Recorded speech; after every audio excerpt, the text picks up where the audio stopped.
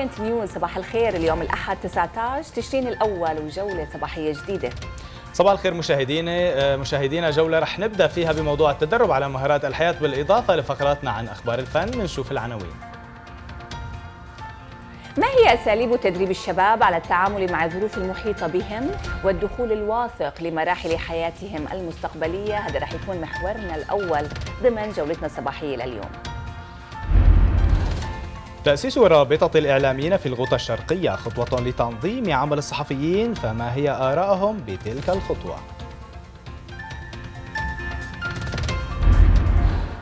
ومن الريحانية ومن أجل إعادة الأمل بحياة طبيعية حملة لتركيب ألف طرف اصطناعي للمصابين وفي أخبارنا المنوعة 12 بطاقة حمراء بمباراة كرة قدم في الأرجنتين.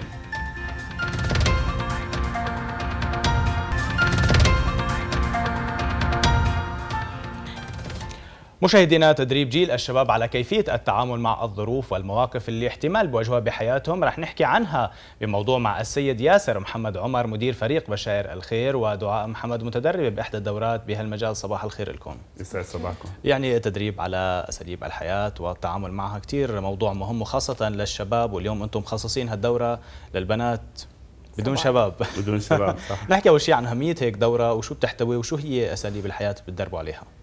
هلا هي الدورة تدريب للمهارات للصبايا نحن أخذنا العمر ما بين 13 و 17 فقط. يعني هي الدورة آه، بتطلع بتكون يعني مثلا الوحدة كيف بدها تتعامل فرضا ببيتها مع أهلها؟ كيف تتعامل مثلا بالمدرسة مع زملائها مع أنستها مع أمها مثلا على يعني على حدة مع أبوها على حدة مع أخواتها؟ كيف تتعامل بالبيت؟ كيف تتعامل هي مثلا بنفسيتها فرضا مع الناس اللي حواليها؟ بال يعني اللي بالمجتمع كيف تنخرط بالمجتمع؟ كيف ما تكون انطوائية؟ إذا عندها أي مثلا شيء سلبية فرضا بحياتها كيف بدها تواجهها؟ كيف بدها تعرف تدرس؟ يعني هذا كله نحن من ضمن المهارات كله كله هذا موجود. بالتأكيد هي مهارات كثير مهمة. عم تحدث حضرتك عن وسائل أو أساليب التواصل والتفكير الإيجابي قد يكون طريقة التعامل آه، مع الصعوبات مع الأزمات. آه، إذا بدنا نحكي أكثر عن هل الفئة العمرية تحديدا عم تحدث عن من 13 ل 17 سنة؟ يعني الفتيات بهذا العمر آه، ببداية التدريبات يعني بصير تقييم لوضعهم بتلاحظوا مثلا الأثر الملموس قبل وبعد؟ طبعا هلا وقت يعني هلا نحن هي ثالث دورة بنعملها ببشائر خير نفسها هي فتيا اسمها التد... فتيا هو المشروع اسمه فتيا فريق بشائر خير بالتعاون مع فريق هيئة شام الإسلامية. الله يجزيهم الخير. إيه، بس هلا هن الموضوع البنت وقت اللي بتيجي فرضا بكون نفسيتها فرضا تعبانة نحن بنعرف خاصه بهالظروف نحن اللي عايشين فيها طبعا. ظروف أزمات ظروف صعبة ظروف معيشية. يعني خاصة الوضع الصعب بسوريا. تماما يعني حتى اللي هون فرضا الفقر فرضا الموجود اللي عند السوريين هون موجودين اللي بحاجة هن لمعونات. فهن وقت اللي عم يجوا لهون فرضا عم يلاقوا شوي نفسيتهم تعبانة عم يطلعوا من بلدهم. كيف لازم يتعاملوا البنات؟ مثلا البنت بهذا العمر ما بين 13 ل 17 وهي ببلدها بتكون تعبانة نفسيا. صح. نحن ببلدنا. صح. بهذا العمر بتمرق بمراحل كثير كثير يعني بالنسبة لها يعني بتعمل لها إرهاصات بحياتها. مم. فبهذا العمر ونحن موجودين فرضا هون هي الأردن إن شاء الله هي بلدنا الثاني. نحن ما بنفرق بين الأردن وسوريا نحن كلنا بلد واحد إن شاء الله. فنحن موجودين هون في الأردن. كيف تتعامل البنت فرضا مع مع اللي حواليها. أهم شيء مثلا مع رفقاتها بالمدرسة أهم شيء فرضا تعامل فرضا ببيتها. كيف بدها تتعامل هي مثلا مع دراستها؟ كيف بدها تدرس؟ كيف تعمل برنامجها؟ فبتلاقي بهذا العمر بين 13 ل 17 سنة بالأمر الطبيعي يعني البنت طبعا. بتلاقي بتلاقيها إنه شوي تعبانة. تماما سن مراهقة. طيب أستاذ ياسر يعني خلينا نبدأ بأساسيات الدورة. كيف أنتم عم تحطوا؟ شو الأسس اللي عم تحطوها؟ وشو عم تبدوا بأول دورة ما يفوت المتدرب؟ شو بتطلعوا؟ يعني شو اللي بيخليه ينتبه لأكثر من شيء ثاني مثلا شو الأولويات بالدورة؟ هلأ بيكون في عصف ذهني من المتدربه مع مع الطالبات. فهن شو بيطلع معهم؟ مثلا يعني شغلات هيك حلوة بيقدروا يعني يساووها مع بعض. تماما. فهن بيقدروا يشتغلوا من, من خلالها فرضا. يعني هلأ في أفكار هن المتدربة بتحط أفكار. يمكن هلا دعاء بتحاكينا هي بتحكي معنا هي بالأفكار. هلأ المتدربة بتحط أفكار وبتكتب مثلا على ال whiteboard شو هي الأفكار. 1 2 3 4 7 كذا. وبدهم يتبعوا مثلا يعني آه، عنصر عنصر بنساوي أو فقرة فقرة بدهم يشتغلوا عليها. هاي المتدرب اللي بتحطه؟ تماما. هلأ ممكن يكون في عصف ذهني ما بين المتدربة وال... وال... والطالبات. تماما. وبتهيألي بس المتدربة بالنسبة لكم هي مدربة الطالبات. يعني تماماً. أنتم من خلال مجموعة بشائر عم بتبنوا طاقات أو قدرات صبايا مثل دعاء حتى يدربوا غيرهم. تماما صح. طب هلا. خلينا نشوف دعاء. دعاء آه، شو عم أول ما دخلتي على الدورة كيف آه، شو فكرتي؟ خلال الاسئله اللي انطرحت عليك شو كان أول تصور لك بهي الدورة؟ وشو كنت مفكرة إنه تستفيدي من هالدورة؟ نحن أول ما دخلنا عليها كنا عارفين إنه نحن وراء إنه في بدنا ندرب يافعات إنه أصغر عمرهم إنه طالعين من مشاكل. فكان إحنا أول شيء اهتمامنا إنه كيف نخليهم يتعاملوا مع الصعوبات اللي عم يمروا فيها هون. وخاصة إنه هن بعمر يعني إنه ما بيت مو دائما بيتقبلوا الحكي من أهاليهم. فعلاً. بتلاقيهم بيطل اذنهم لبرا أكثر. فأول شيء نحن دخلنا إنه كنا عم نحاول إنه نعيش نحن دورهم. قبل ما هن يعيشوا دورنا. فوقت إجينا لليافعات كمان نفس الشيء عيشناهم هن دور الأب والأم ونحن عشنا دورهم هن آه، يعني كان. أحيانا يصير آه، مثلا في تمثيليات آه، بأدوار متبادلة.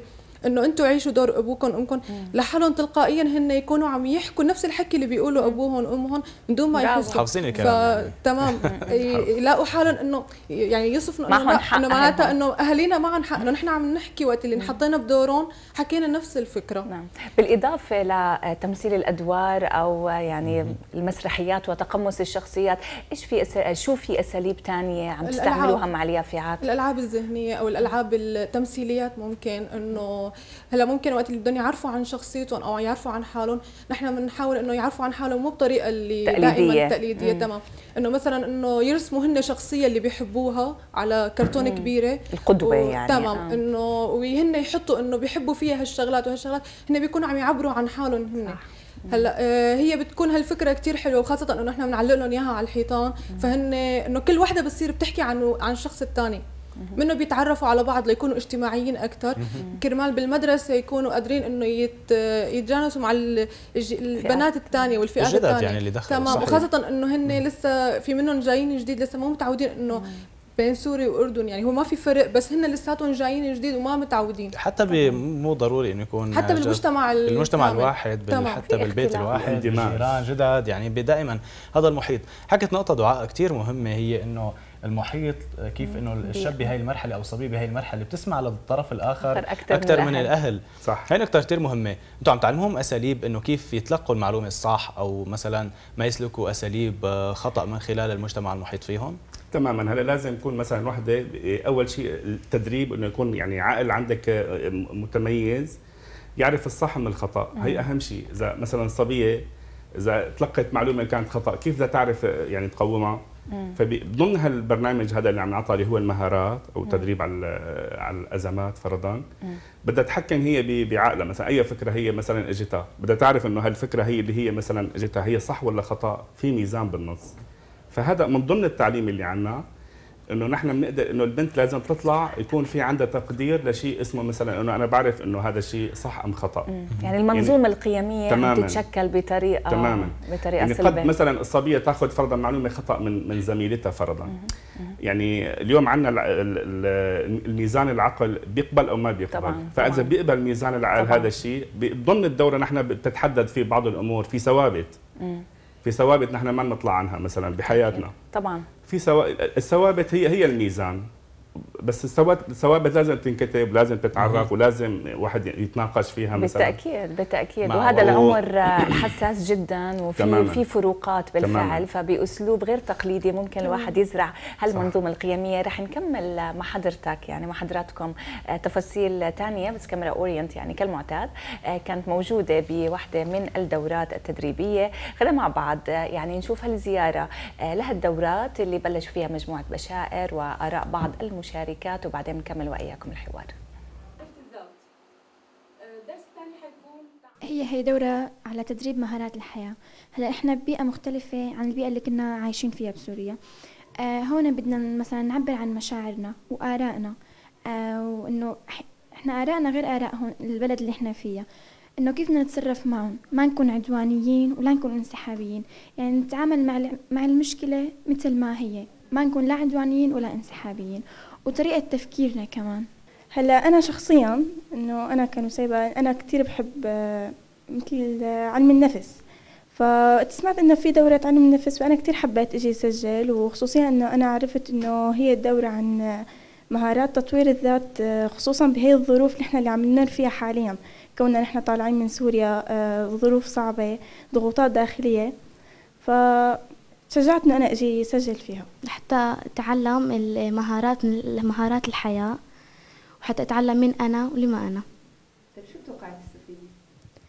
بستفيد لي كثير إنه بتعلم مثلا إذا ممكن حدا يسألني سؤال إنه مين انت ولما انت؟ أنا بجاوبه إنه مين أنا ولما أنا. وبيسألني عن مهارات الحياة وبجاوبه عن مهارات الحياة. مشان نتعلم الحياة مهارات الحياة إنه نحن طلعنا من بلدنا وهيك وما كنا إنه مفكرين إنه نطلع وفجأة طلعنا. شو بتحبي؟ تكون أنت بتعرفي حالك؟ عن طريق هلا تمرين ممكن نحن نعمله. طب شو بتحبي؟ هي بنتي راسمتها أنا ما بعرف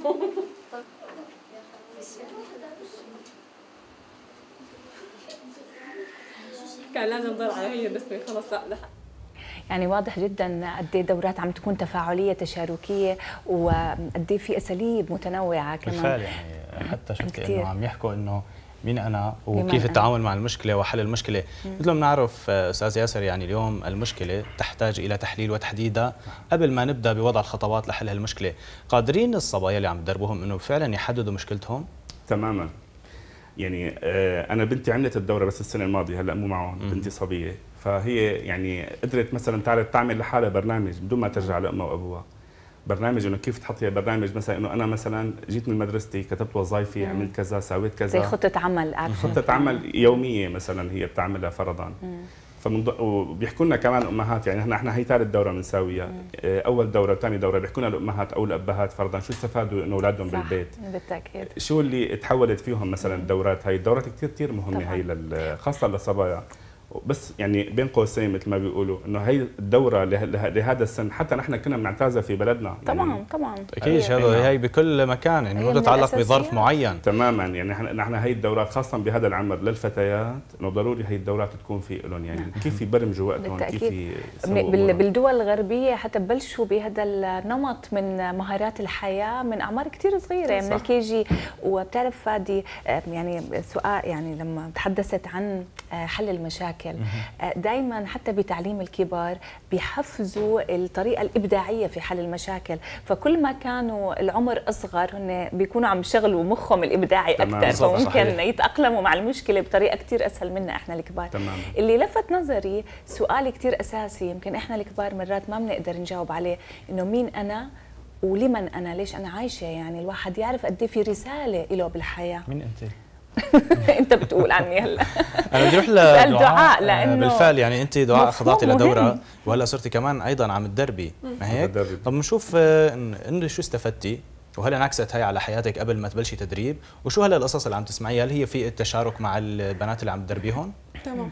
هلأ آه، أول شيء يمكن ما يكون آه، يمكن تكون أنت عارف الهدف لإلك لقدام بس مو عارف كيف تخطط له. تمام صحيح. أو إنه مالك عارف كيف ترسم له أو تبلش فيه. مم. هي النقطة اللي هلأ هن عم يتعلموها إنه انت إذا أول شغلة بنسألهم إنه أنتم شو حلمكم لبعدين تمام. في حلم قريب وفي حلم بعيد اللي هو الحلم القريب إنه هي تقول لك إنه هي أنا خلصت دراستي بس في حلم البعيد اللي هو انت لازم تسعي له أكثر هذا قديش عم تحطي لهم الهدف البعيد يعني؟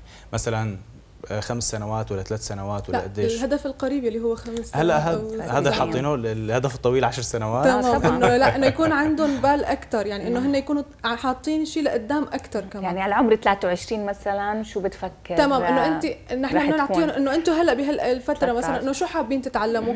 ممكن هن يقولوا لك إنه أنا حابة أتعلم مهارات بسيطة يدوية. هي هو اللي القريب. أما طبعا. البعيد إنه أنا بس لأتخرج حابة اكون هيك هذا اللي بيسعى عليه آفاق للمستقبل إنه دائما الواحد عم يفكر وهذا الشيء إيجابي بس بنفس الوقت ما بيحمل مسؤولية أو أكثر بشغلنا يعني بمجال يعني أكثر يعني بكير على هذا التفكير بقصد يعني. ممكن إنه هو شغلة وقت تكون حلمها هي اللي بعيد ممكن تكون في دورات بسيطة ممكن تكون لها رابط بهالحلم هي تدخلها وتشارك فيها.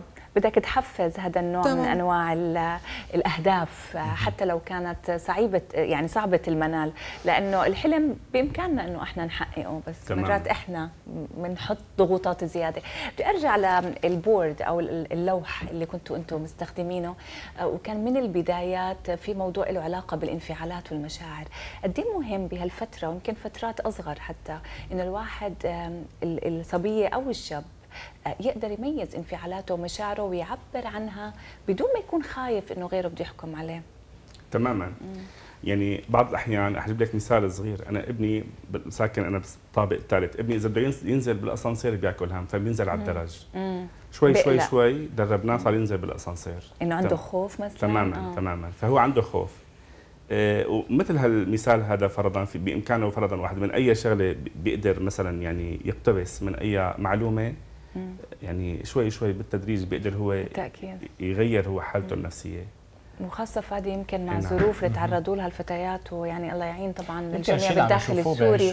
مهم. يعبروا عن مشاعرهم والشيء اللي شافوه تمام وبيعبروا هن عن مشاعرهم بالشيء اللي هن بيحبوه. مثلا آه، وحدة بتحب الرسم اطلعي ارسمي. ما بنقول لها ترسمي اطلعي ارسمي. وحدة بتحب الكتابة اطلعي اكتبي. وحدة بتحب الطرب تصوري صبية بتحب الطرب مثلا. تعبر بال إيه بتعبر إنه أنا بدي أسمع مثلا يعني غنية فرضا انشوده كذا يعني. يمكن يكون في كبت معين بالبيت ما بيسمح. التعريف بالضبط. فبتضل هي ببالها. بدي أسألك يعني اليوم أستاذ ياسر مهارات الحياة متنوعة ومختلفة يعني في بالتعليم في بالشيء الاجتماعي في حتى على المستوى الوظيفي. اليوم آه، أنتم شو عم تركزوا أكثر شيء بالمهارات؟ والله نحن ببشائر خير نحن عم نركز بال... على الأمهات الأمهات صراحة هن مغيبين بال... بم- بمجتمعنا. يعني على الشيء الاسري يعني أو تماما على الأسرة. نحن. عم نركز بال- بالتنمية البشرية على الأسرة حصرا يعني. في تعليم ديني عندنا في تعليم مهارات في آه، لل- للأطفال في عندنا إشراقة أمل في عندنا مشروع اسمه إشراقة أمل. عندنا الأخت عبير هي ساوته ضمن بشائر خير طبعا مشكورة والله يجزيها خير اسمه إشراقة أمل. بالعطلة الانتصافية نحن عندنا في بلدنا أسبوع هون شهر. آه طبعا. إيه، فهذا. الشهر نحن كل سنة بنعمل فيه مشروع اسمه اشراقه امل وبالصيف كمان بنكمله مع ال مع ال مع الصغار يعني. ممتاز. الصغار فرضا نحن بنحتم عليهم إنه أنتم شو بدكم مثلا يعني طلعوا على المستقبل كذا كذا كذا بذكرونا. فنحن بننمي عندهم اللي هو بده إياه. آه، وبنحاول فرضا نرسم لهم فرضا شغلات هن يعني هن للمستقبل. يعني بعض الأحيان بيجيك ولد ما عنده هدف. يعني ببيته مكبوت فرضا ما عنده شيء خلص إنه أنا هيك وبس يعني. مدرسة بيت بيت مدرسة. تماما يعني آه، بدي اذكر لك شغلة بس هيك يعني من إيه سبيل- تفضل بالعكس نحن هون. نستفيد ونشوف ال ال. أيضا آرائكم وأفكاركم. تفضل. تمام. هلأ آه كنت أقول لك شغلة نكتة بس رح اجلها بنحب تفضل. نسمع. تفضل. أنا عندي مرتخي اسمه وداد. فابني ساك ساكن أخي ساكن فوق مني بالطابق وقت كنا بسوريا.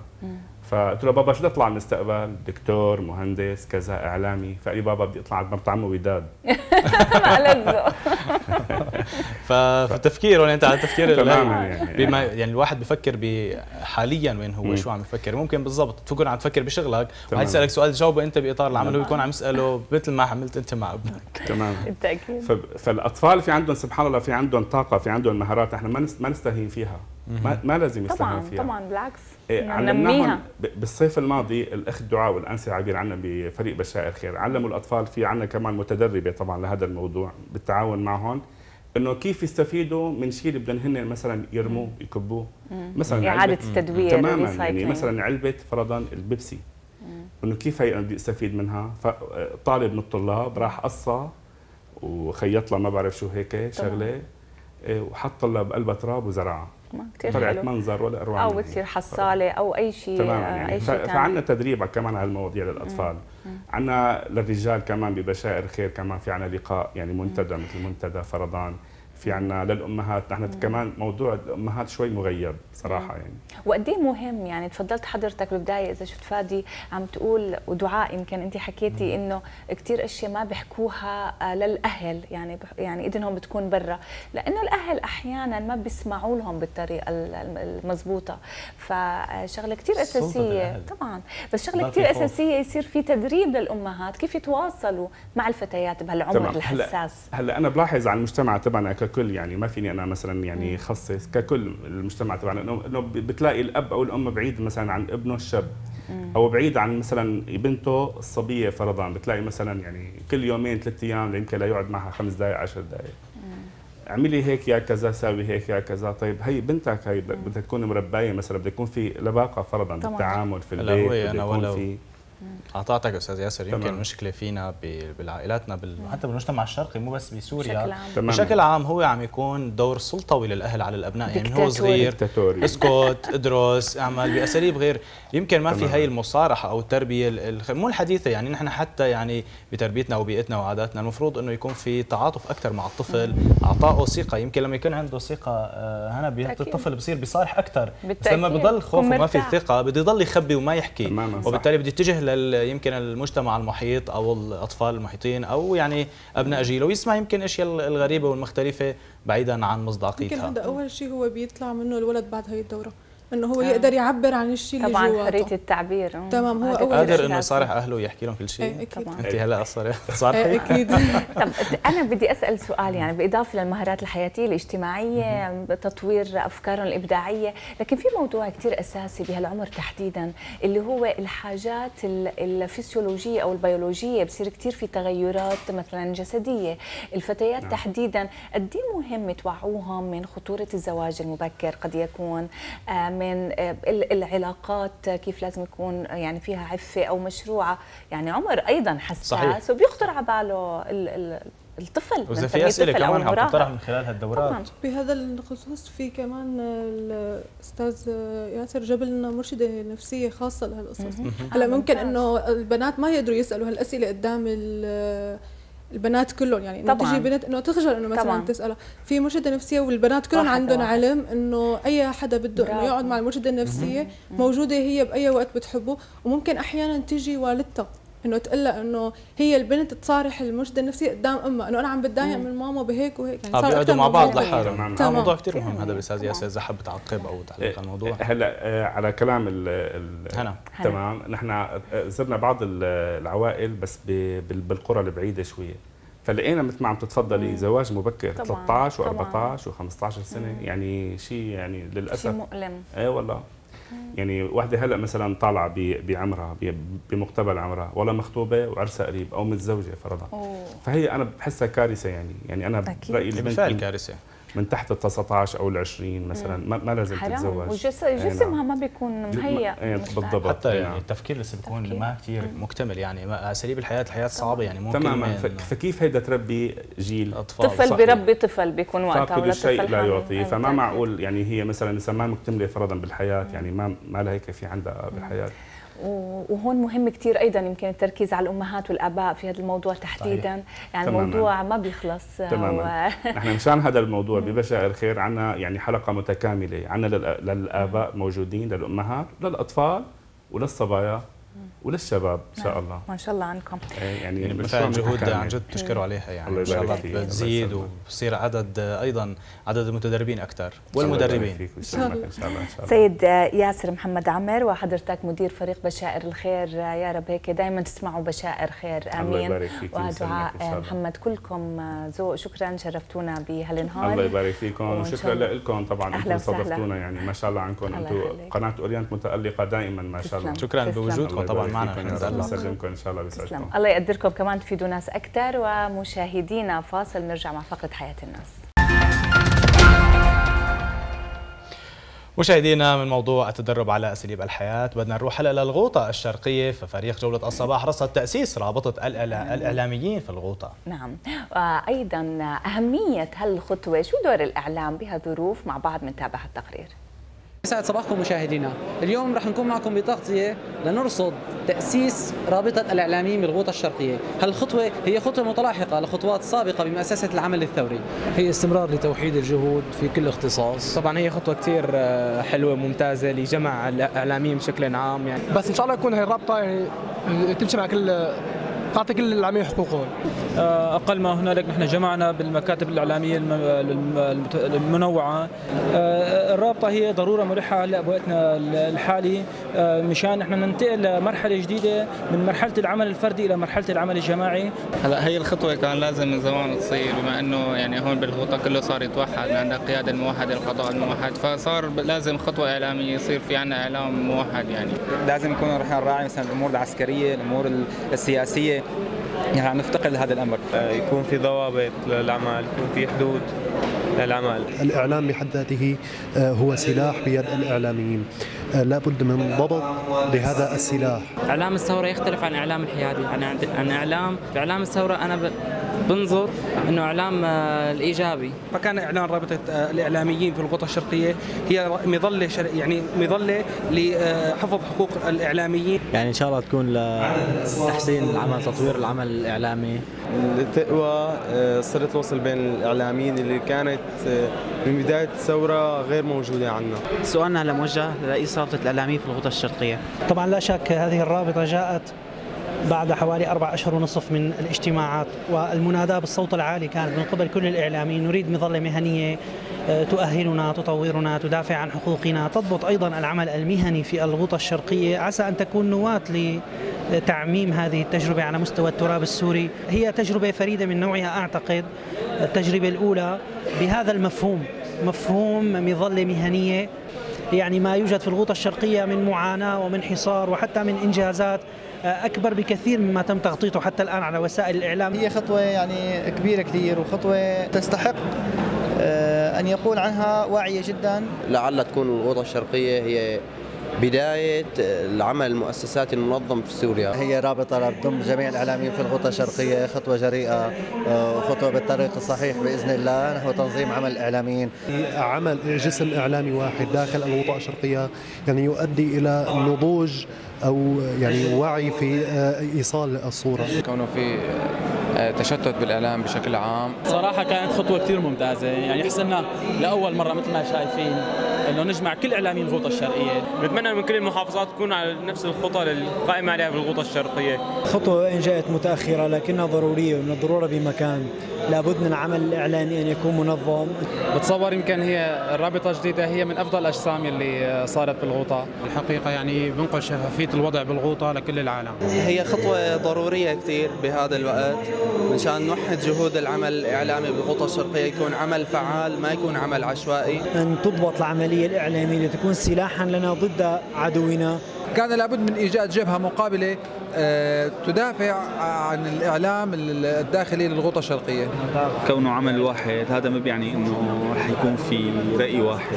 لا بالعكس رح يتم كل واحد حيقدر يحكي رأيه آه، لكن ضمن ضوابط عامة. والله هي كانت خطوة ضرورية بهي الفترة اللي عم نعيشها. نحن في ظل تواجد أكثر من آه، توجه للإعلاميين. نتمنى تكون الخطوة هي خطوة حقيقية لاستخدام الإعلام بحربنا مع النظام. بأورينت نيوز كان معكم هادي أبو ريان أبو الهدى خالد.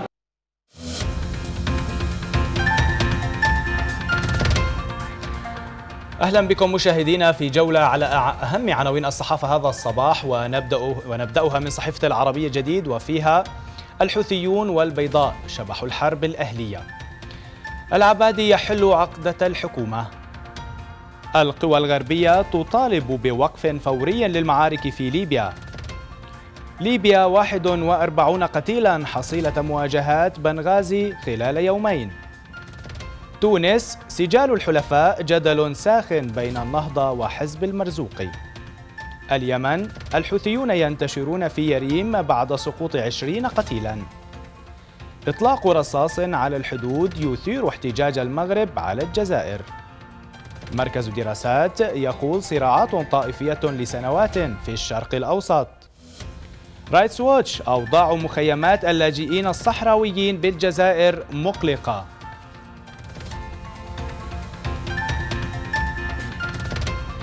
نبقى في العربي الجديد كتب كثيرون عن تنظيم الدولة وخطر تمدده وأخيرا حول استقطاب التنظيم للشباب من كافة البلدان. والكل يرى في هذا التنظيم مخرجا أو هدفا للوصول إلى غاية في أنفسهم خاصة كانت أم عامة. يقول أسامة عثمان في صحيفة العربي الجديد في مقال بعنوان داعش بين الخطر والتوظيف نتابع. مهما اختلفنا مع تنظيم الدولة أو شاب نظرتنا إليه الغموض فإن تمدده المكاني على الرغم من تضافر قوى دولية وإقليمية عليه وقدرته على الاستقطاب التي لا تقتصر على أبناء المنطقة من العرب ولا على المسلمين في الغرب وغيره بل تتعداهم إلى معتنقي الإسلام من الغربيين أنفسهم ولا سيما في جيل الشباب. هذه الملامح تسترعي النظر مع أنه قد يشكك في دلالة هذه الملامح على قدرات التنظيم الذاتية فيقال إن دولا ترعاه وتسانده تارة هي أمريكا وتارة إيران وتارة تركيا وأخرى السعودية مع ما في هذه الاحتمالات من تناقض لافت إلا أنه أولا لم تنهض أدلة كافية على هذه التبعية أو التوظيف. على فرض تبعية هذا التنظيم وتوظيفه دوليا وإقليميا فإن التركيب التي ابتني عليها من حيث الصفة الإسلامية مرجعية والجهاد آلية والأممية نطاقا يشي لدى من ركبه فرضا بمقاربة أكثر ملائمة للتحولات الفكرية والسياسية التي يحضر فيها الإسلام السياسي طرفا فاعلا لا يمكن تجاهله. مؤكد أن مفهوم الأمة الإسلامية لم يتلاشى تماما في أذهان المسلمين وحتى في غيرهم من أهل هذه المنطقة التي حكمت بالإسلام شريعة وحضارة قرونا. ولهذه الصفة الأممية الإسلامية مفاعلها السياسية لدى من يستشعرونها وهم نسبة ملحوظة من عموم المسلمين. يخشى أن يصبح داعش رأس الحرب في دفاع السنة عن أرواحهم ووجودهم في وجه التغلب الشيعي. في العراق وفي سوريا حيث نظام الأسد المدعوم من إيران والحكومة العراقية وحزب الله هذا الدعم الذي يكبت المطالبات السورية بتغيير سياسي أكثر توازنا. وفي اليمن حيث تنشط القاعدة أخيرا وهي ليست بعيدة جوهريا عن داعش لمواجهة التمدد الحوثي أو محاولات استحواذه على الدولة والبلاد. فداعش قد يتراءى الآن ندا للخطر الغربي الخارجي الذي يضرب في أماكن عدة من العالم الإسلامي كما في فلسطين وأفغانستان وأفريقيا وغيرها وخصما عنيدا للخاطر الطائفي المستخدم للشيعة. وإلى صحيفة المستقبل والتي تطالعنا العناوين التالية هذا الصباح القضاء البريطاني يدين أربعة شبان بتهمة الولاء لداعش. وألمانيا اعتقال شخصين يشتبه بانتمائهما لداعش. العبادي دمار العراق من سوريا. القوات المسلحة المصرية تجري أكبر مناورات في تاريخها. قائد الجيش الباكستاني يحذر من أي عدوان ضد بلاده. واشتباكات بين حوثيين ومؤيدين للإسلاميين في وسط اليمن. طائرة أمريكية تعود بعد مهمة سرية دامت سنتين. محادثات صريحة بين كيري ومسؤول صيني. العثور على جثة ممثلة أمريكية في قاع النهر. الكاتبة الصحفية ثريا شاهين عرجت اليوم في مقالها في جريدة المستقبل إلى لبنان وخطر الإرهاب الذي يمكن أن يتربص به. وإن لبنان يمكن أن ينأى بنفسه بعيدا عن ذلك كله. في حال ابتعد عن التحالفات الدولية وظل متخذا موقف محاربته مع العالم أجمع وليس في حلف دولي محدد. تقول شاهين تحت عنوان لبنان بمنأى عن خطر الحرب ضد الإرهاب. نتابع بعض مما قالته. ثمة تخوف من امتداد الإرهاب المتطرف إلى لبنان وهذا ما يشكل تهديدا كبيرا وخطرا في حين أن عملية مكافحته في كل من سوريا والعراق ستأخذ وقتا لا سيما وأن خبراء أكدوا أن هذه العملية من الجو وحدها لا تنفع هل لبنان فعلا في خطر؟ تفيد مصادر دبلوماسية أن لبنان ليس في خطر كبير إنما هو في جو أحداث معينة ومحددة فقط إنه ليس في خطر حرب كبيرة كما يحصل في المنطقة لكنه أيضا في الوقت نفسه في حال تحسن تحسب لخطر ما. طالما أن الحكومة تعمل وكل الطوائف ممثلة بها فمن شأن ذلك إبقاء لبنان بعيدا عن المخاطر الكبرى. الدول الكبرى لديها قلق على الوضع الأمني اللبناني في إطار القلق على الوضع في المنطقة لأنه بمجمله غير مستقر ويقع على جانب كبير من الخطورة نتيجة الحروب في العراق وسوريا. وتفيد المصادر أن لبنان ليس متحالفا مع التحالف الدولي لمكافحة الإرهاب بشكله الحالي إنما هو ضد داعش أي هو ينخرط في إطار عالمي لمكافحته وليس في إطار حلف محدد. إن كل دولة تحارب الإرهاب لبنان حليف لها وهو ضد داعش سواء في سوريا أو في العراق وأكيد حيال ما يحصل بالنسبة إلى الحدود الشرقية اللبنانية.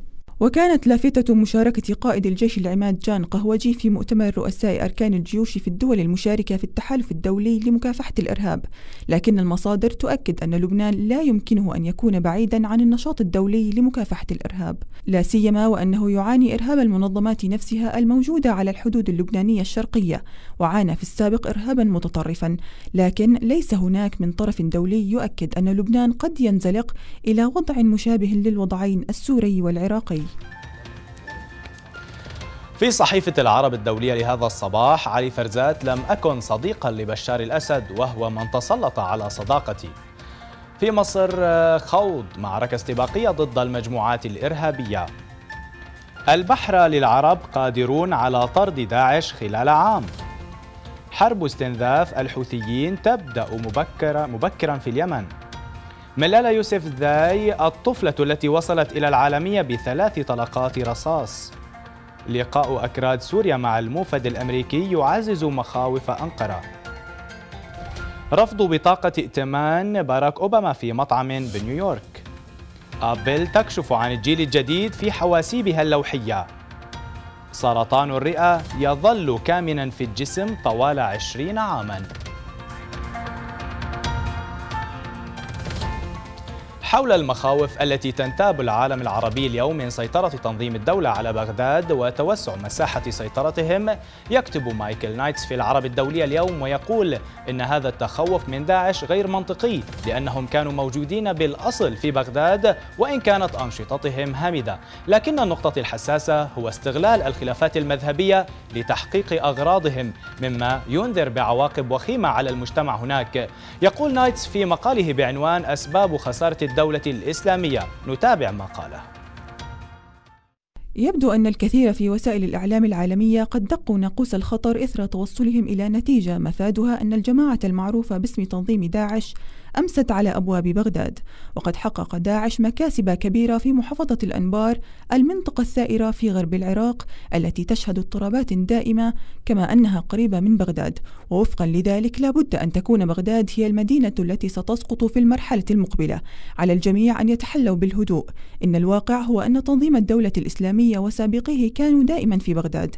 فالعاصمة العراقية والمدن المتاخمة لها حزام بغداد ساحة معركة ميؤوس منها منذ عام 2003 يكافح تنظيم الدولة الإسلامية للحفاظ على قبضته على ساحة المعركة مع شركاء غرباء، وقد يكون متوجها نحو بغداد في الوقت الحالي بسبب حاجته الماسة إلى تحقيق انتصار كبير أكثر من أي أمر آخر، وحتى وإن بدا تنظيم داعش يحرز تقدما في أماكن ثانوية مثل كوباني البلدة الكردية السورية على الحدود، إلا أن التنظيم يتداعى داخل العراق، وبالتالي يحتاج إلى جبهة جديدة لتجديد حملته.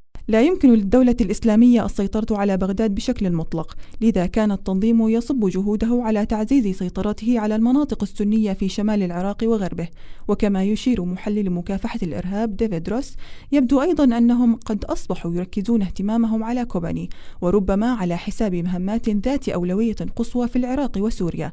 إن إحدى الخيارات المطروحة هي قيام انتفاضة في الأحياء السنية غرب بغداد، وهي مناطق مفتوحة نحو صحراء الجزيرة التي يهيمن عليها داعش إلى الشمال الغربي من بغداد.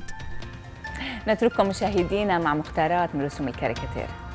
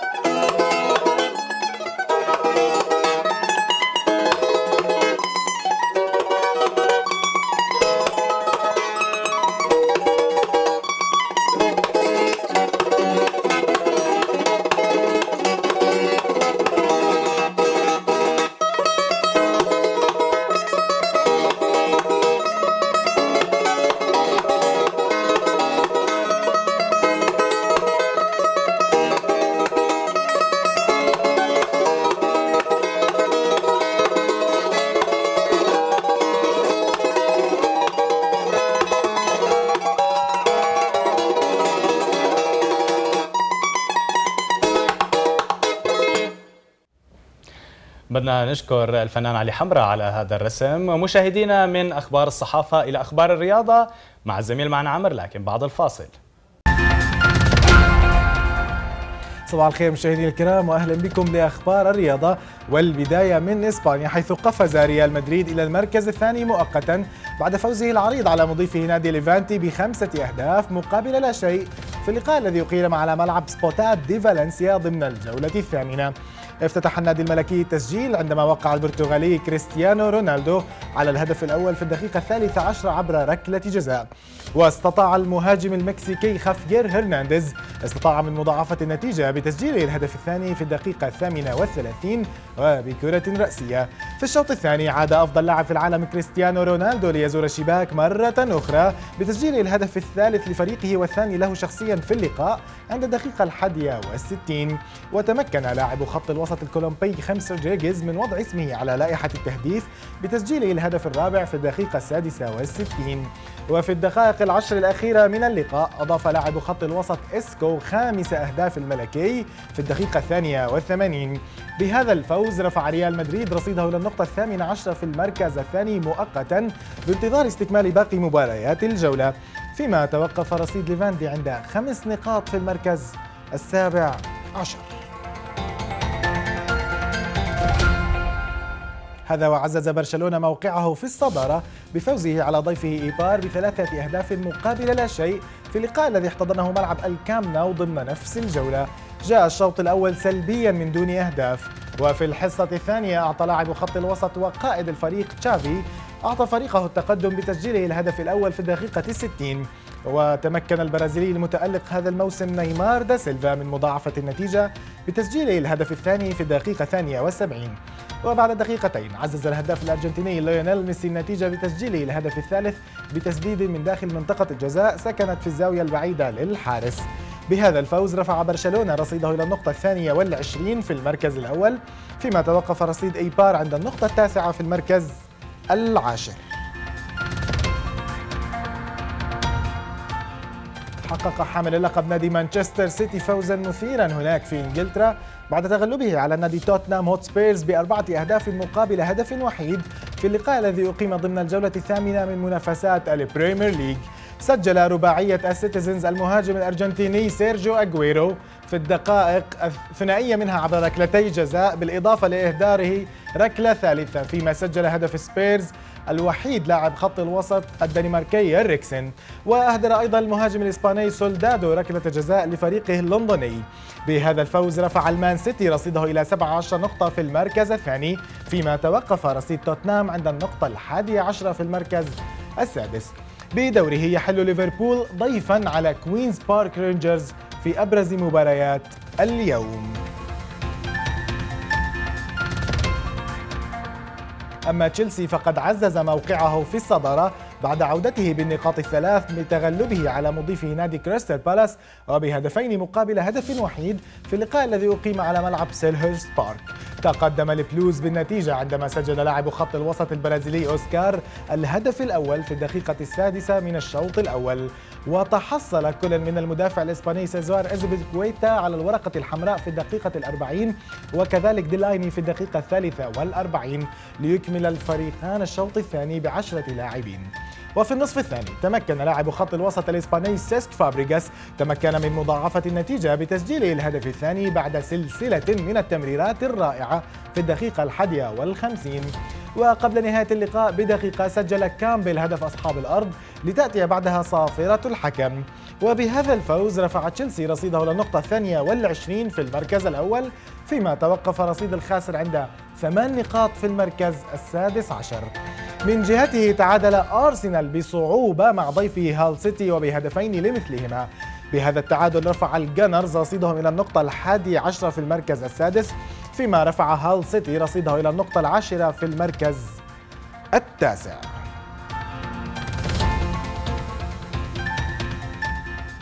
إلى إيطاليا توقفت سلسلة الانتصارات المتتالية ليوفنتوس بعد وقوعه في فخ التعادل الإيجابي أمام مضيفه نادي ساسولو بهدف لمثله في اللقاء الذي أقيم على ملعب كومونال ريتشي ضمن الجولة السابعة من الكالتشيو. افتتح ساسولو التسجيل أولا عبر المهاجم الدولي سيموني زازا بتوقيعه على الهدف الأول في الدقيقة الثالثة عشرة. وتمكن حامل اللقب نادي اليوفي من معادلة النتيجة بتسجيله الفرنسي بول بوجبا لهدف التعادل في الدقيقة التاسعة عشرة. بهذا التعادل رفع اليوفي رصيده إلى النقطة التاسعة عشرة في المركز الأول بفارق نقطة وحيدة عن روما. فيما رفع ساسولو رصيده إلى النقطة الرابعة في المركز الثامن عشر مؤقتا. هذا وكان فريق العاصمة قد انتصر بالثلاثة على حساب ضيفه كييفو فيرونا في باكورة مباريات الجولة. وسجل للذئاب كل من المهاجم المتألق ماتيا ديسترو والصربي آدم ليايتش والقائد المخضرم فرانشيسكو توتي. وفي قمة مباريات اليوم يحل نابولي ضيفا على إنتر ميلان. إلى ألمانيا عزز حامل اللقب نادي بايرن ميونخ عزز موقعه في الصدارة بفوزه العريض على ضيفه فيردر بريمين وبستة أهداف مقابل لا شيء. في اللقاء الذي أقيم على ملعب أليانز أرينا ضمن الجولة الثامنة من منافسات الدوري الألماني. توزعت أهداف البافاري على كل من القائد فيليب لام والإسباني تشابي ألونسو والثنائي الألماني توماس مولر وماريو جوتزي ومن ثم عاد مجددا لام لإضافة الخامس قبل أن يسجل السوبر ماريو الثاني أهدافه ليختتم سداسية فريقه. بهذا الفوز رفع بايرن ميونخ رصيده إلى النقطة العشرين في المركز الأول فيما توقف رصيد الخاسر عند النقطة الرابعة في المركز الثامن عشر والأخير. أما بروسيا دورتموند فقد استمرت معاناته عندما سقط أمام كولن بهدفين لواحد. سجل للفائز كيفن فوغت وسيمون زولر فيما سجل للفريق الأصفر تشيرو إيموبيلي. وبهذه الهزيمة تراجع دورتموند إلى المركز الرابع عشر عند النقطة السابعة فيما قفز كولن إلى المركز العاشر عند النقطة التاسعة.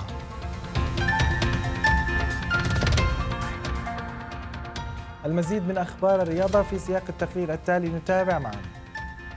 نبدأ من صربيا مع اتهامات وجهها رئيس الوزراء ألكسندر فوسيتش لمسؤولين ألبان بالتورط في رفع علم ألبانيا الكبرى في المدرجات وأرض الملعب خلال مباراة بين صربيا وضيفتها ألبانيا ضمن تصفيات بطولة أوروبا لكرة القدم 2016 وأشار فوسيتش إلى أن السلطات الصربية تجري تحقيقات في هذه الواقعة. أنتظر بشغف تعليق الاتحاد الأوروبي على ما حدث. حذرت شركاءنا خمس مرات من العواقب السياسية وغيرها التي قد تنجم عن الاستفزازات التي ارتكبها مسؤولون من ألبانيا. كل الأشخاص الحاضرين بالاستاد كانوا من المسؤولين الألبان. كان من الواضح أنهم حضروا إلى الاستاد بنية واضحة لاستفزاز مضيفيهم. وكشف فوسيتش النقاب عن أن بعض المسؤولين الألبان الذين حضروا المباراة كانوا يرتدون أوشحة تحمل شعار جبهة تحرير كوسوفو التي ناضلت من أجل الاستقلال عن صربيا في التسعينيات. وخلال المباراة استخدمت طائرة تعمل بالتحكم عن بعد في رفع علم ألبانيا الكبرى فوق الملعب مما فجر اشتباكات بين عدد كبير من لاعبي الفريقين ألغي على إثره اللقاء. من جانبه نفى رئيس الاتحاد الألباني لكرة القدم أرماندو دوكا مسؤولية لاعبي منتخب منتخب بلاده عن إلغاء مباراتهم أمام صربيا مشيرا إلى أنهم احترموا كل قواعد اللعب المتعارف عليها. بينما أوضح قائد المنتخب الألباني لوريك كانا أنه وزملائه تعرضوا للهجوم أثناء خروجهم من الملعب وأن الحالة النفسية السيئة التي أصيبوا بها وعدم إحساسهم بالأمن كلها عوامل منعتهم من استكمال المباراة التي توقفت لنحو نصف ساعة. ونتحول إلى إسبانيا حيث حصل الأورجواياني لويس سواريز مهاجم برشلونة الجديد على جائزة الحذاء الذهبي كأفضل هداف للموسم الماضي في حفل أقيم بمدينة برشلونة. وذلك بعد أن توج بلقب هداف الدوري الإنجليزي الممتاز عقب تسجيله 31 هدفا في 33 مباراة مع فريق ليفربول خلال الموسم المنصرم. وتقاسم سواريز الجائزة مع البرتغالي كريستيانو رونالدو نجم ريال مدريد.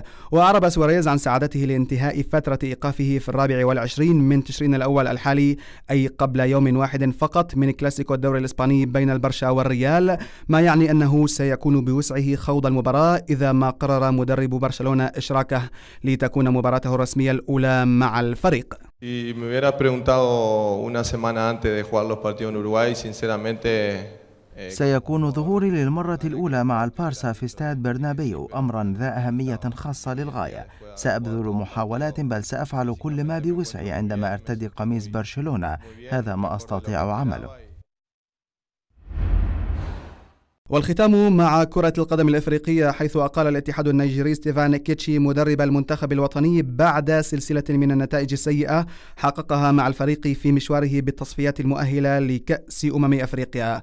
ولم يفز نسور نيجيريا سوى بمباراتين فقط من آخر اثنتي عشرة خاضوها آخرهما فوزهم على السودان بثلاثة أهداف لهدف لتتخلف نيجيريا بفارق أربع نقاط عن جنوب أفريقيا التي تتصدر مجموعتها وبفارق ثلاث نقاط وراء الكونغو صاحبة المركز الثاني. هذا وتولى كيشي تدريب نيجيريا العام 2012 وقادها للفوز بكأس أمم أفريقيا للعام التالي في جنوب أفريقيا والتأهل لكأس العالم في البرازيل.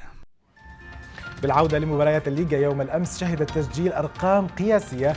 كريستيانو رونالدو وصل للهدف الخامس عشر فقط بعد مرور ثمان جولات على انطلاق الليغا وهو بالمناسبة شارك فعليا فقط في سبع مباريات.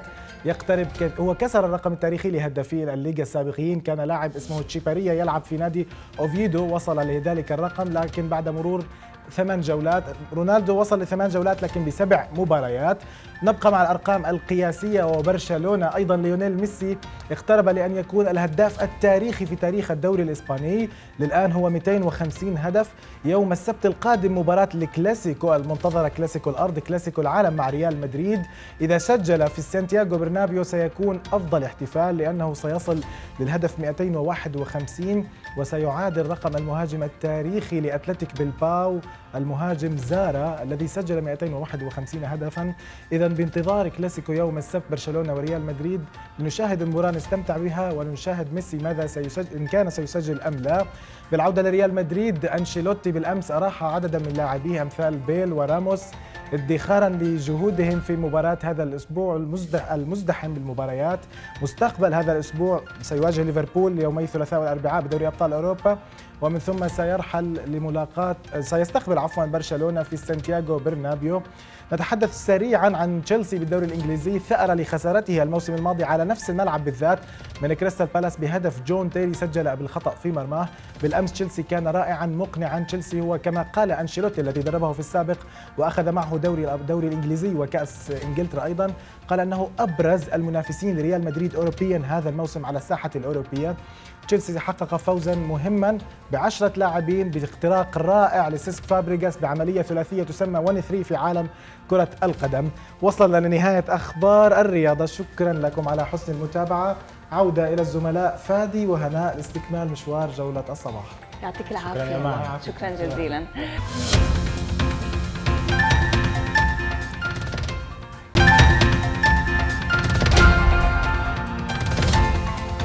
مشاهدينا وصلنا لفقرة رح تحبوها أكيد. نحن هالفقرة حددناها كل يوم أحد ورح نبدأها اليوم من هالخبر حيث أعرب الفنان السوري جمال سليمان عن سعادته. وهو عم يشاهد برنامج اكتشاف المواهب أرب آيدول.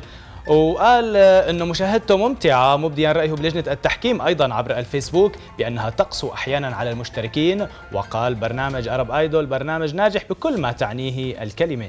مشاهدته ممتعة وجميلة وهو عم يعرفنا على مواهب عظيمة لشباب وصبايا رائعين وما كنا نعرفهم لولا البرنامج. وقال الفنان إنه هالأغاني المنتقات بتعيدنا إلى أيام الفن الحقيقي حيث كانت الأغنية كلمات ولحن وصوت ولا يجوز غياب أي من هذه العناصر. فما بالك بغياب العناصر الثلاثة. وتابع سليمان لجنة التحكيم تتعامل برقي مع المتسابقين. أحيانا تقسو ولكنها في النهاية تقول ملاحظات نتعلم منها. نحن أيضا أصول الاستماع والتذوق فتحية لهم. أما التحية الكبيرة فلهؤلاء الشباب الموهوبين الذين أتوا بقلوب دقاتها مسموعة ليقول للعالم نحن موهوبون نحن هنا ويدهشوننا بمواهبهم.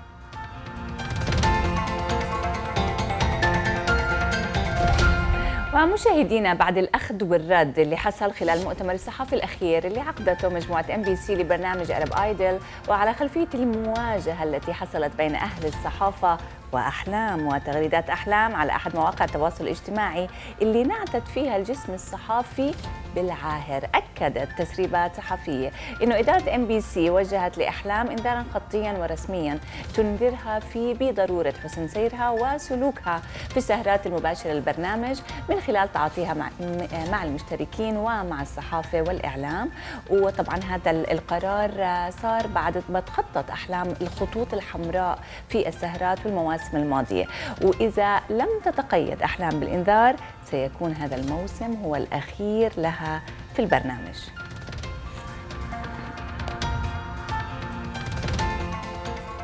ومع الشائعات حيث لا زالت شائعات الوفاة تلاحق النجوم في العالم العربي وكان آخر ضحاياها هذه الشائعات الفنان السعودي القدير فنان العرب محمد عبده إثر نوبة قلبية داهمته بجدة. بالطبع هذه ليست المرة الأولى التي يتم تداول مثل هذه الرسالة المفجعة في عام 2014 بل هي الثالثة حيث كانت الأولى بداية العام والثانية في شهر مايو الماضي. والغريب أن جميع الإشاعات المغرضة وانتشار مثل هذه الرسالة يتم أثناء سفر الفنان محمد عبده بدوره. أكد ابن فنان بدر عبده أن والده بخير وأن سبب إغلاقه للجوال هو سفره إلى لندن التي وصلها فجر يوم الاثنين الفائت.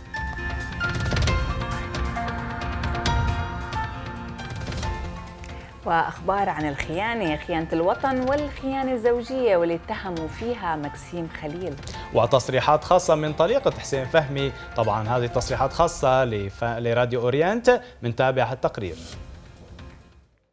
أحداث وأخبار فنية متنوعة حصلت في الفترة الأخيرة.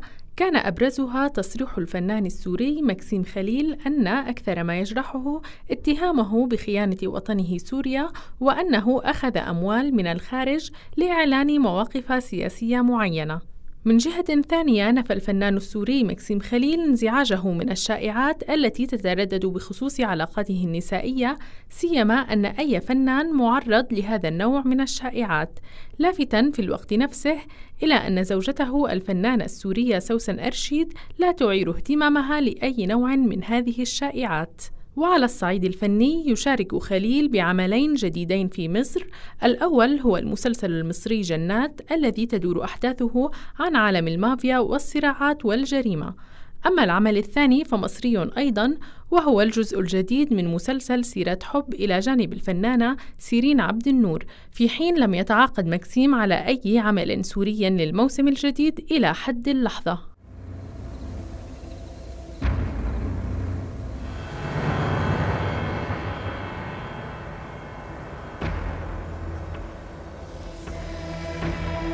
ونبقى في أخبار مصر المحروسة حيث كشف النجم المصري أحمد السقا أنه يتحضر لعمل هوليودي جديد إلى جانب النجم العالمي جاني كلود فان دام حيث لا يزال التواصل حول هذا الأمر مستمرا بتدور على حد يا كابتن؟ آه والنبي اخ بعد إذنك في ناس ساكنة في الدور الأول هنا. وفي سياق آخر كشف السقا أنه يحلم بتجسيد شخصية خالد بن الوليد في عمل درامي أو سينمائي مستقبلي. وفي الحلقة الفائتة من بيت الفن عبر أثير راديو أورينت صرحت الفنانة المصرية لقاء سويدان أنها من المستحيل أن ترتبط بفنان مرة أخرى خصوصا بعد فشل تجربة زواجها من الفنان المصري حسين فهمي. أنا أصلا في الأول ما كنتش مقتنعة إن أنا ممكن أتجوز من فنان. طبعا النصيب ودي و... و... حاجة يعني مكتوبة من قبل ما نتولد. صحيح أكيد. آه لكن آه لا مش هكرر تجربة الزواج من فنان لأنه إحنا شغلنا صعب قوي آه وبصراحة يعني صعب إنك تلاقي زوج يتفهم طبيعة شغل الفنانين حتى لو هو فنان. مهما كان الرجل العربي أو الرجل الشرقي ليه طبيعة خاصة. آه لكن أنا مش هكرر فكرة إن أنا ممكن أتجوز من فنان دي خالص. طب ندمانه على تجربتك الأولى ولا حسيتيها مرقت وخلص راحت؟ لا لا أنا ما بندمش على حاجة لأن كل حاجة فيها الحلو والوحش. آه ما نقدرش نقول في حاجة كلها وحشة أو حاجة كلها حلوة مليون في المية. صحيح. كل تجربة بيبقى فيها الكويس والوحش وأنا مش من النوع اللي بنكر يعني كل كل حاجة وليها حلاوتها وكل تجربة بتعدي على الإنسان بيتعلم منها حاجة وأنا اتعلمت كتير. وكانت تجربة مهمة في حياتي. أنا بعتبر الدنيا كده يعني خطوة بتوصل لخطوة خطوة بتعلمك إزاي تكملي بعد كده صح أكيد. آه إزاي تتلاشي آه أخطاء مثلا ارتكبتيها أو حاجات آه، لقيتي نفسك مش قادرة تتعايشي معاها. طيب بالختام بس إذا بنحكي عن جديدك شو عم تحضري جديد؟ والله لسه إن شاء الله يعني عندي بإذن الله برضه مسرحية وعندي في عمل يعني لسه بقراه وبدرسه لرمضان الجاي.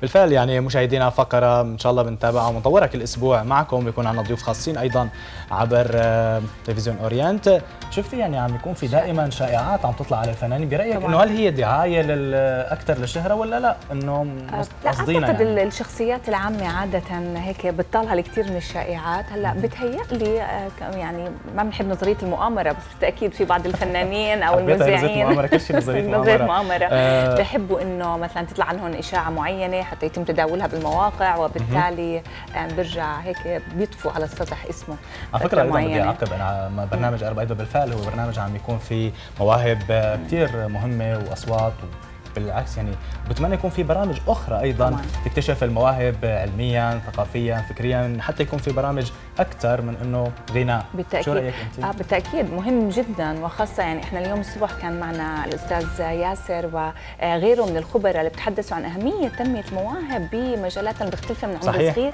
هذا الشيء اللي ممكن هيك يعني يرتقي فيه مجتمعاتنا. لكن بدي اعقب على بعض الأفلام اللي إحنا شفناها آه في فيلم آه ترشح لأوسكار آه فيلم هو لمخرجة فلسطينية. عم عم بحاكي الواقع أيضا. إن شاء الله يا رب نتمنى لهم كل التوفيق. اسمها. رندا النجار. أعتقد موجودة. خلص إن شاء الله بركي بنستضيفها أيضا شي يوم نحكي عن هذا الفيلم. وهلأ وين بدنا نروح؟ هلأ مشاهدينا من أخبار الفن والفنانين ومباشرة للبنان وزميلة رنين إدريس، رنين حضرت فقرة خاصة من البقاع، خلينا مع بعض نتابع.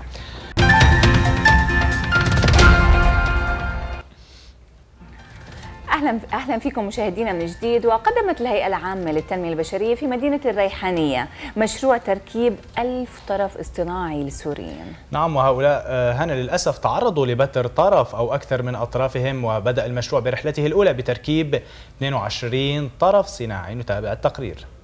لم يستطع الناشطون أن يوثقوا بشكل دقيق أعداد السوريين مبتوري الأطراف لكن الرقم تخطى عتبة العشرين ألفا. هذا الرقم وبضخامته اختزل المشهد السوري الذي أصبح أسوأ كارثة إنسانية في العصر الحديث. لذلك كان لابد من حلول إسعافية. هي حملة حملة الأطراف الصناعية تركيب ألف طرف صناعي لألف من إخواننا الذين بترت آه، أطرافهم إما يد أو رجل.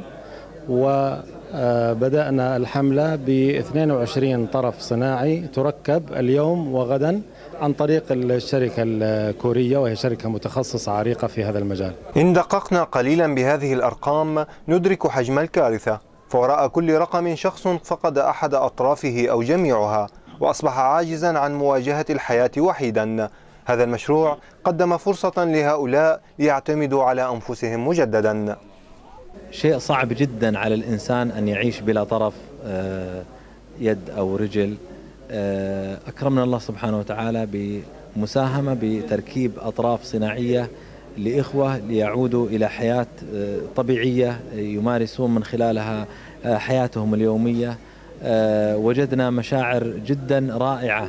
لمن دخل بعكازين وخرج يمشي على قدمين. مدنيون وثوار وإعلاميون هم ضحايا البراميل المتفجرة والقنابل العنقودية المحرمة دوليا. يأتون اليوم كي يحصلوا على جرعة أمل من طرف اصطناعي لربما يعيدهم إلى حياتهم الطبيعية. أنا كنت ناشط إعلامي في دير الزور قمنا بتوثيق آه، جرائم النظام وفي إحدى المعارك. وصبت فقدرة يدي اليسار. وأنا هنا من أجل أن أقوم بتركيب طرف صناعي يساعدني على الرجوع إلى عملي مجددا. يتخلى هؤلاء عن العكازات ويعودون للمشي كطفل يخطو خطواته الأولى. هي فرحة لا يمكن أن توصف. فتركيب الطرف الاصطناعي يعني لهم حياة جديدة. يعني أكيد بده يكون شعور حلو يعني يعني بدي أرجع إنسان طبيعي بدك تقول 90% الحمد لله رب العالمين. مشروع تركيب ألف طرف صناعي هو خطوة في طريق إعادة الأمل بالحياة لمن فقدها جراء بتر أحد أطرافه. عمار دندش أورينت نيوز من مدينة الريحانية. مشاهدينا من مدينة الريحانية بتركيا إلى عمان وأقيم معرض للجامعات. آه، المعرض هذا ضم استعراض للجامعات الغربية اللي حاببين يدرس فيها الطلاب العرب؟ يعني بالتأكيد يعني الدراسة الأكاديمية في الدول الغربية بوقتنا الحالي حلم براود الكثار من الطلبة العرب. آه، خلينا مع بعض. آه، نتابع معرض للجامعات العربية بحضور طلبة من جميع الجنسيات واللي أقيم مؤخرا في عمان الأردنية. مئات من الطلاب توافدوا إلى هذا المكان علهم يغتنمون فرصة تمكنهم من إكمال دراستهم في إحدى الدول الأجنبية. في دورته السادسة عشرة استضاف معرض الجامعات الأكبر في الأردن الطلاب من جميع الجنسيات للمشاركة في هذا التجمع الذي ضم أكثر من 27 جامعة أمريكية وبريطانية وأخرى أجنبية. والتي أرسلت مجموعة من مندوبيها الذين قاموا بدورهم بإرشاد المشاركين وتقديم مجموعة من البرامج الدراسية لمرحلة البكالوريوس والماجستير والدكتوراه واللغة الإنجليزية. هلا نحن في عنا 27 من top universities أكثريتهم جايين من UK يعني عندنا جامعات زي ليدز نوتنغهام West of England جامعات كثير كبيرة وكثير منيحة. يعني كل سنة هدول الجامعات عم برضه بيجوا على الأردن إنه عم بشوفوا إقبال من طلاب كثير مميز. اجيت على المعرض اليوم عشان بدي أشوف شو المنح اللي بيقدموها الجامعات اللي برا بخصوص مواضيع الصحافة والإعلام والعلاقات الدولية. وشهد المعرض حضورا لافتا للطلاب السوريين والعرب الذين منعتهم ظروف الحرب والصراعات التي تشهدها المنطقة من إكمال دراستهم في وطنهم واضطروا للنزوح واللجوء إلى دول الجوار التي لم يجدوا فيها بعد فرصة مناسبة تمكنهم من إكمال تعليمهم الجامعي. هلا نحن اللي بنقدمه للطالب السوري إنه بنجيب له قبول من جامعة لتسيبر بريطانيا. هلا السفارة البريطانية لما تشوف إنه الجامعة البريطانية معطيته offer آه، آه، بيقدر يزيد من نسبة قبوله للفيزا وخاصة إذا كانت من الجامعات ال top rank ببريطانيا. نحن ننصح الطلبة السوريين بأن يتوجهوا إلى هذه المعارض لعلهم يجدون الفرصة اللائقة لإكمال دراستهم التي فقدوها خلال الثلاث سنوات الماضية. طبعا فرصة كثير منيحة وكثير رائعة إنه يجوا يلتقوا بممثلين من الجامعة تحديدا. يعني مو ناس عاديين عن طريق مكتب أو شيء. ممثلين من نفس الجامعة بيجوا وبيقابلوا الطلاب وبيفيدوهم يعني بيعطوهم الزبدة بيعطوهم الطريق المختصر لأنه يروحوا على أقرب جامعة ويسجلوا فيها بطريقة مباشرة. كما أوعز بعض الطلاب مشاركتهم في المعرض إلى افتقار الجامعات العربية إلى تخصصات معينة وجدوها متوافرة في تلك الجامعات الأجنبية. إحنا عندنا جامعات هون فيها ماجستير بس يعني واحد بيستفيد من برا أكثر لأنه التخصص اللي بدي العلاقات الدولية مش موجود عندنا بالأردن هون كدراسة. في كتير تخصصات وأنا مثلا التخصصات اللي ما بلاقيها هون اللي عم بدورها ال business ال marketing ال business business administration في كتير تخصصات نادرة وممكن الطلاب اللي رح يطلعوا يدرسوها بعدين هم اللي يجيبوها للوطن العربي. تحمل مثل تلك المعارض املا ولو كان بسيطا للطلبة تجاه فرص التعليم المتاحة. لكن السؤال الذي يطرح نفسه كم طالبا سيتم قبوله في هذه الجامعات من أصل ألفي زائر توافدوا في اليوم الأول من أيام المعرض؟ نور حداد أورينت نيوز عمان.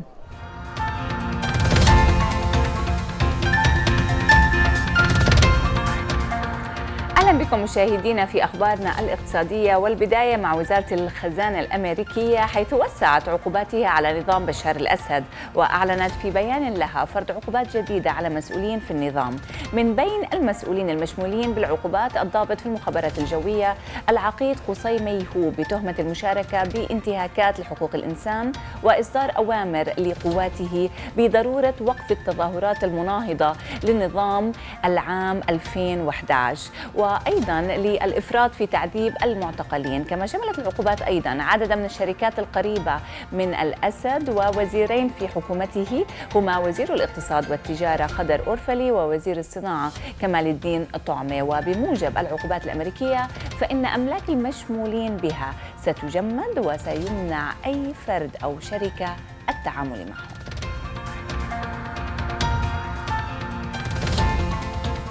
قرر مصرف مصرف سوريا المركزي إغلاق شركة الشرق الأوسط للصرافة بكافة فروعها بالإضافة لتغريمها مليون ليرة بتهمة مخالفتها قوانين المصرف. كما اتهم المصرف الشركة بالتخلف عن تزويد مفوضية حكومة النظام بالبيانات الأسبوعية والشهرية.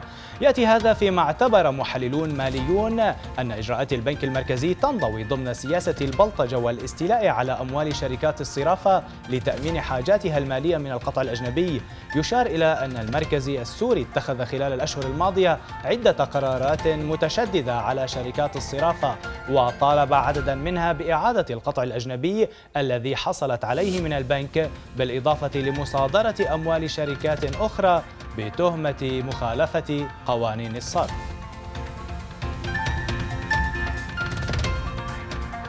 وقعت وزارة البنية التحتية في الحكومة السورية المؤقتة اتفاقية مع صندوق إعادة إعمار سوريا بقيمة 5 ملايين و300 ألف يورو لدعم إعادة تأهيل وتشغيل شبكة مياه الشرب في نواحي وقرى محافظة حلب.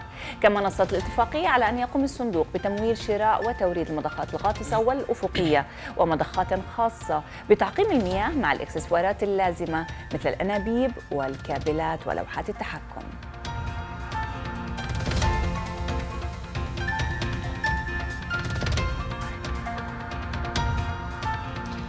واصلت الليرة السورية تسجيلها أدنى مستوى لها أمام العملات الأجنبية للأسبوع الثاني على التوالي. وسط تكهنات بزيادة إقبال المدخرين على شراء الذهب ما قد يؤثر سلبا على سعر الصرف خلال المستقبل القريب. نترككم مشاهدينا مع آخر أخبار صرف الليرة أمام العملات الأجنبية.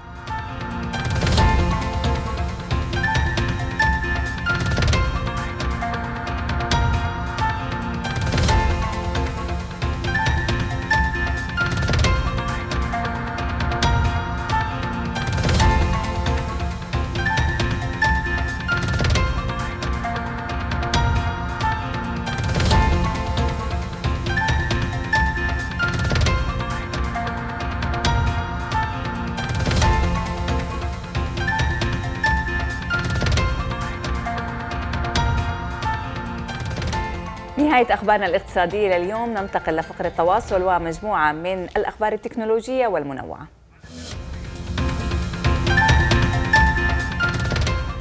في أخبار التكنولوجيا جوجل تقدم هاتف نيكسوس 6 نعم وفايرفوكس ينافس سكايب في خدمة محادثات الفيديو. والمزيد من الأخبار في التقرير التالي.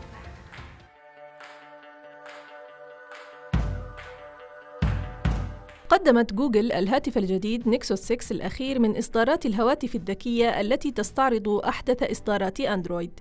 ويعتبر هذا الهاتف أكبر هواتف نيكسوس حجماً بشاشة عرض تبلغ 6 بوصات وهو بذلك أكبر من كل من آيفون 6 بلس وجالكسي نوت 4 ويتميز الهاتف بتقنية عرض رباعية ما يعني أن رؤية النصوص والصور على شاشة الهاتف ستكون بالفعل شديدة الدقة والوضوح على الرغم من حجم الشاشة الكبير. هذا ويبلغ متوسط سعر الهاتف في الأسواق 649 دولاراً ما يجعله أغلى هواتف نيكسوس. وسيبدأ ظهوره في الأسواق اعتباراً من نوفمبر تشرين الثاني.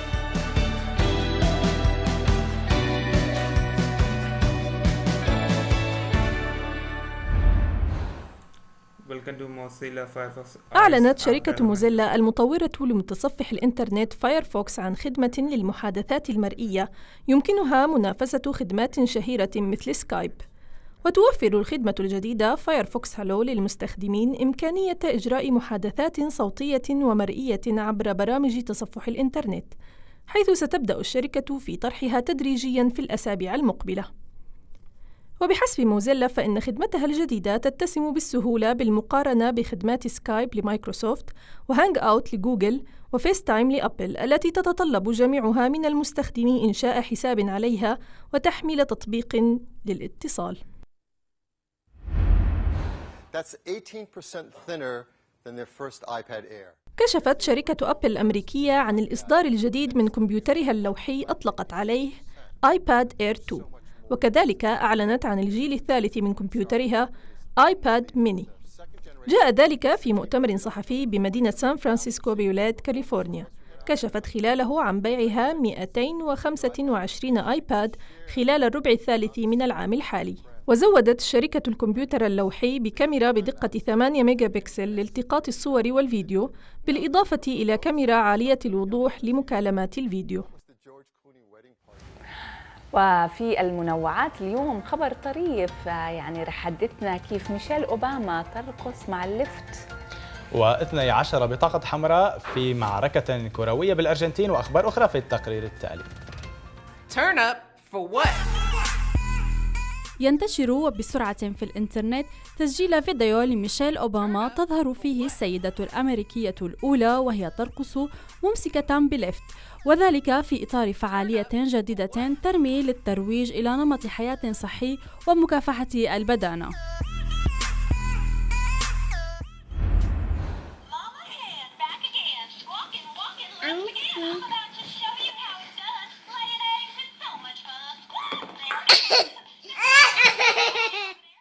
أصيب هذا الرضيع بالدهشة البالغة عندما وضعت دجاجة دمية بيضة أمام عينيه في هذا الفيديو الذي انتشر عبر مواقع التواصل الاجتماعي وحقق آلاف المشاهدات بعد أيام من نشره.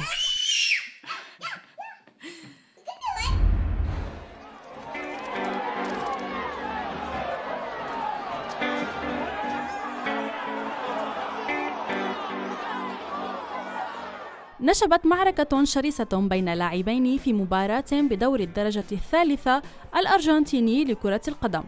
أشهر الحكم خلالها 12 بطاقة حمراء قبل أن يوقف اللقاء. وتوقفت المباراة بين فريقي ديبورتيفو روكا وضيفه سيبوليتي إثر طرد لاعبين اثنين عقبه تصادم بدا عارضا للوهلة الأولى. وأبلغ الحكم فاكوندو سبينوزا وسائل إعلام أرجنتينية بأنه طرد عشرة لاعبين آخرين في تلك الفوضى وأنه سيعلن أسماءهم في تقريره الرسمي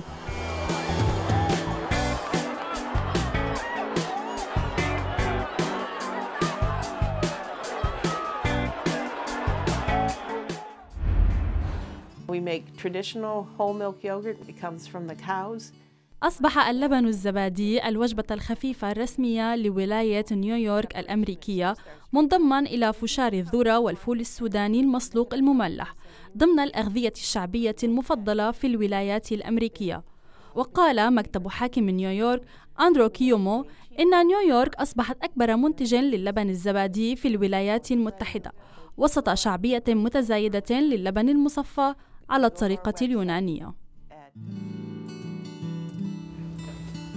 إذا مشاهدينا وصلنا وإياكم اليوم لختام جولتنا الصباحية كالمعتاد. بنرحب دائما باقتراحاتكم أفكاركم وكل تعليقاتكم على صفحتنا على الفيسبوك Facebook dot com slash جولة dot الصباح أو على إيميلنا صباح at orient-tv.net وهيك بنكون ختمنا جولتنا الصباحية لهذا اليوم. مشاهدينا بنبقى مع أغنية أنا الثائر وإلى اللقاء. إلى اللقاء.